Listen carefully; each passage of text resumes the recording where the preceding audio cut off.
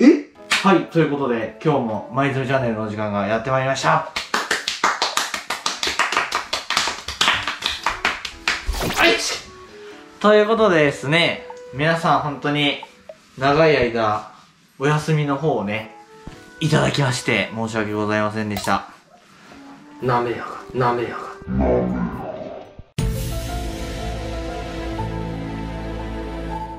まずね、今日の動画は僕のあの、緊急で回してる、あの、報告動画になるので、ちょっと緩めにね、ラフに、あの、ゼブコ君には隣にいてもらうだけで、あの、結構なので、ちょっと語らせてください。自己紹介したの？あ。マイゾーチャンネルの、ドラでーす。いやこんばんはえー、こうだぜまあ、今日は普通に、本当に、真剣にちょっと語りたいな、みたいな動画なんですけど、まあ、まずはね、あの、先月何があったのかっていうところからなんですけど、7月末に僕体調崩しまして、あの、嘔吐下痢？汚ねえな。いや別にいいしか。をちょっとしてて、まあ、若干熱もあったんですよね。で、病院に行って、あの、ウイルス性とかじゃなくて、あの、細菌性胃腸炎だみたいなことを言われ、まあ、あの、抗菌剤なんつうんだっけ抗生物質みたいなのをもらってたんですけど、僕ちょっと抗生物質マジでちょっと嫌いすぎて、嫌だって話をしたんですよ。まあ結局そのね、その悪い細菌がいるから飲まないといけないのは分かってるんですけど、悪い細菌と一緒にいい腸内の細菌も殺されちゃったらひとたまりもねえよみたいな感じでね。まあ飲まなくちゃいけなくて、1週間ぐらい飲んだんですけど、で、調子良くなったなと思って、8月1日は確か会社に行ったのかな。あ、違う、行こうと思って、多分行けてなくて、またちょっと再度熱が出始めちゃって、やばいなと思ってたら、もう急にね、サイドなんやねん。今、カタルシスなの。まあそう、それでね、体調悪いなと思って。あれだね、8月5日かな？あの、朝起きる前だね。4時とかにお腹痛すぎて。で、しかもあの、排便したいお腹痛いじゃないんですよ。もう、左のここのね、サイドが。サイドサイド。そう、ここのね、左サイドの腸が、マジですっげえ、あの、痛くて、あ、めっちゃ鼻ほじるやん。かゆいねそう、まあそう、左腸が、めちゃくちゃもう腫れ上がってて、え、それ食えんの？うんわかんないわかんないよ。でもそれもらったやつや。それ誰ゼブコーがくれたやつや。あ、大丈夫だ。10月19なんだ。そうで、僕ね、その、細菌性の胃腸炎って言われて、うつらないっていうのは分かってたんですけど、この部屋でね、病気を療養してたんですけど、まあそのまままなんで、その辺にちょっと食べ物があるんですけど、何？溶けてる？めっちゃつけてる。あ、しけてる？そうだ、こいつはこのね、俺の嫌なやつを食ってるということで。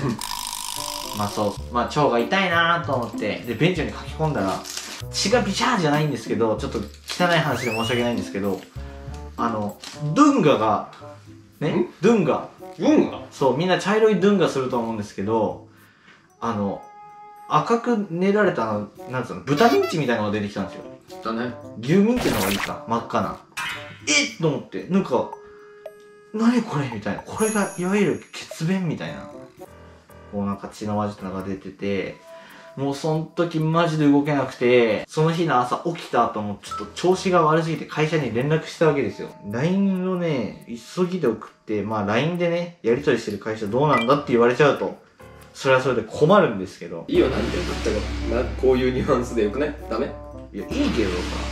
あ、そうだ、そう。連絡ちょうだいって言われて、5日だ。で、その日の朝にやべえと思って、ちょっと寝ねば治るかなと思ったら寝らんないの。うん寝る1時間起きる、ここがもうはち切れそうなぐらい痛い便所行くみたいな。うんら便所ももう出なくて。で、クーラー効いてる部屋なのになんかもう、汗もダラダラ出て、ハーハーしちゃって、うん。って、もう過呼吸ほどじゃないけど、うん。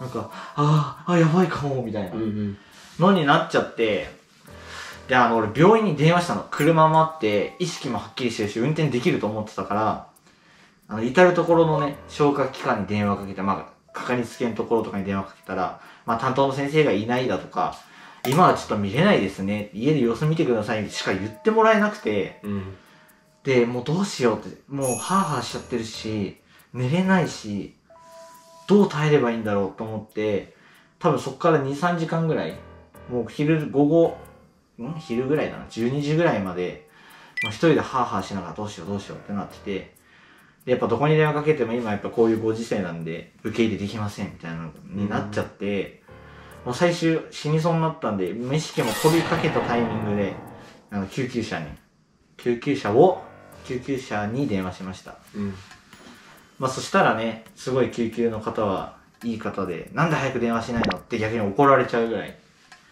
まああの救急車に乗ってね、こう、ピーローピーローっつってこう行ったわけですよ、近くの。家から10分ぐらいの総合病院に。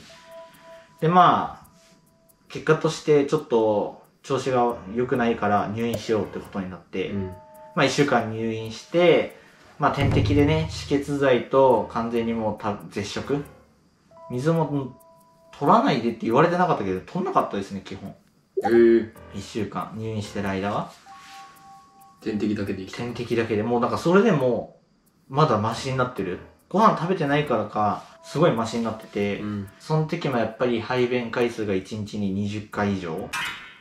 びっくりでしょうんこまんじゅうそう。でね、いいことに病室僕一人だったんですけど、隣がトイレだったんですよ。もう、カラカラカラカラカラーっつって、すいません失礼しまーすって。それサッカー選手ぐらいの運動量じゃない？うん。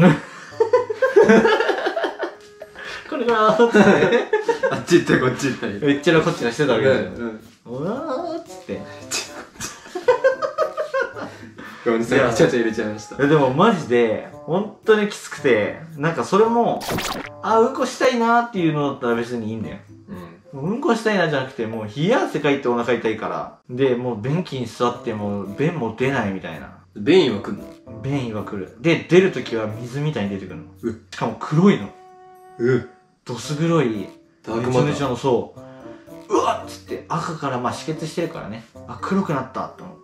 検査をしましょうっつって3日後ぐらいに検査して。検査結果出たのが月末だったんで、それまではもう、会社、もう俺、退院したらそのまま会社行こうと思ってたんですよ。そしたらもう、復帰できないぐらい体力ももうなくなっちゃってて、まあ8月は頭からケツまでしっかりと休ませてもらったんですけど、まあ結果としてね、あの、病気の名前は、お願いしますよ。あの伝説の難病過敏性腸症候群。ではなくはい。潰瘍性大腸。なってしまったんだよねこれはもうあのフリーメイソンやイルミナティの陰謀としか考えられないよねって話だよねピピピピピピなんか急に関さんじゃなくなっちゃったな。何かなって言って。ということでね、今ちょっとゼブゴー君に説明していただいたんですけど、あのー、潰瘍性大腸炎ということで、診断をもらいまして、まあこれほんと治んないらしいんですよ。あの、1年ごとに繰り返す人もいるし、実際に僕経験して、これ正直話すのもすげえ、なんつうの、迷った。本当に発信していいのかどうかもわからないし、ただまあ、僕の症状としては今は結構落ち着いている寛解期っていうね、状態なので、問題はないんですけど、ただまあ世の中にやっぱり苦しんでる方もいらっしゃるので、ならあれ今日も病院行ったんだっけ？そう、今日も病院行った。今日はまあ、検査、血液検査と、まあ、先生とお話をして、まあ、予後、良好ということで、ちょっとまあ、経過観察まだ続く。もうこれからもう何十年も、多分死ぬまで付き合っていかないといけない病気にはなるんで、まあ、それをね、ちょっとこういう場で語るのもどうなのかなとかいろいろ考えたんですけど、まあ、YouTuber として100万人って頑張りたいって言ってる中で、ね、なんかそういうのを語んないのもどうなのと思って、だったらもうどんどん発信して、まあ同じ症状でね、悩んでいる方とか、やっぱり中にはいると思うので、そういう人たちの励みになればいいなと思って、俺、すげえ調べたの。あの、海洋生態腸について。うんまあ、YouTube とかネットで。でもやっぱりね、いろんな情報があるし、まあそもそも YouTube はそんなに海洋生態チャンネルのことを語る人はやっぱりいなくて、まあ中にはいたんですけど、有名な方とかね、うん。配信者の方でいたんですけど、やっぱりこう、なんだろうな、その心強いっていうか、不安な時にこうやっぱ携帯で今調べる文化があると思うので、まあこういう人もいるんだなって、まあ僕みたいなね、海洋生態腸炎でも元気にやってるぞっていうのをね、発信できれば、やっぱりみんなの安心材料にもなるかなっていうので、ちょっと今回は語らせていただいております。まあ症状としてはその血便と発熱で、大腸の中でね、潰瘍って言って、まあ要は傷ができちゃうんですけど、要因としては、本当に不明みたいで、自分の体の免疫細胞が、あの、大腸悪いもの、ウイルスと同じ扱いをしてしまって自分で攻撃しちゃうっていう病気なので、最悪の場合はやっぱり大腸を全摘してる人とかも中にはいらっしゃいますし人工肛門ストーマとかあとは普通にそのまま肛門につないで大腸だけない人とか、うん。まあ、今は多分そっちの方が主流なのかな。うん。まあちょっと軽い食事制限をしたり、まあ活動期の方ですね。あとは薬はもう本当に何十年も飲み続けないといけないっていうものになるので、本当に治療、もうその薬も潰瘍性大腸炎専用の薬ってよりかは、本当に人によって薬で対処する人もいれば、注射とか、あとはもう透析みたいなやつ、そう、G キャップっていうのかな、なんか白血球を減らすやつ。とかをこう、今そういういろんな治療法があるんで、まあ、死ぬ病気ではないんですけど多分症状が出てる時の人ってすごく辛いと思うのね。だからあのねトイレ行ってるからってバカにするのは良くないよ。大体しちゃうね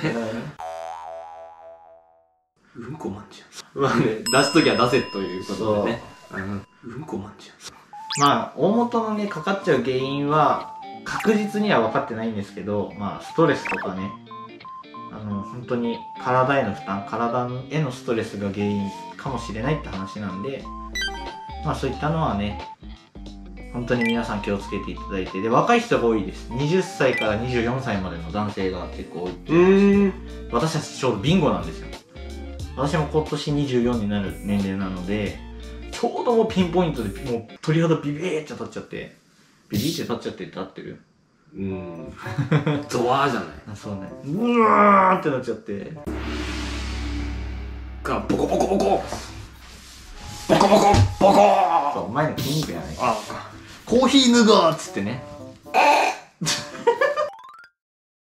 今後もね YouTube のね動画を発信していくということでうん。1ヶ月間ちょっとねアリンピックも参加できなかった。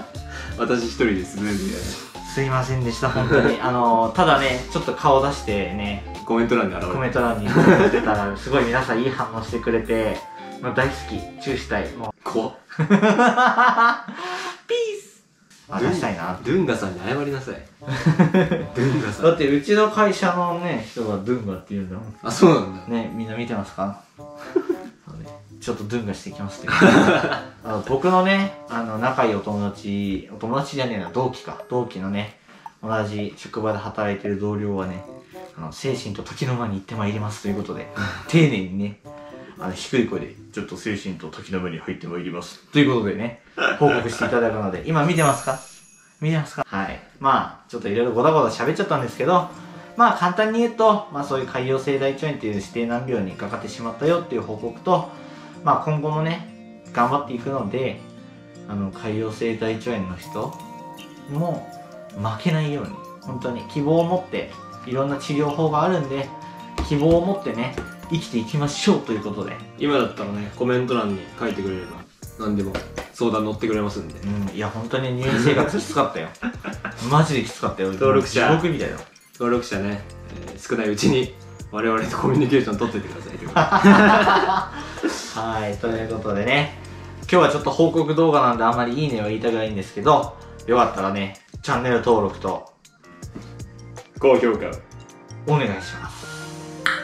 ということでね、今日の動画は締めていきたいと思います。